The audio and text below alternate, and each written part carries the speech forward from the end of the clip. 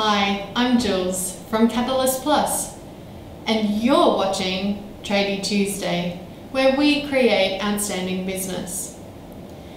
Now, today I want to talk about employing new people. The New South Wales Government has this great initiative called the Small Business Grant. It allows small business owners to apply for a grant for up to $2,000 when you create a new role within your business. Now, how this works is it allows you to create a new role that is for a full time person, a part time person, or even a casual person but you must maintain that role for at least 12 months. The $2,000 is payable in 12 months time after you've, after you've hired the new person. But there is a catch. You have to apply for the small business grant within a month of when you've started the, started the new role. And in 12 months time, the New South Wales Government will send you a reminder email to apply for the cash balance.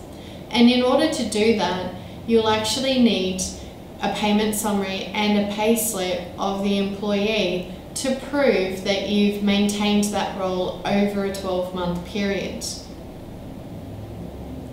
Now, there's more information below on our blog but you can also see it on the New South Wales Office of State Revenue website.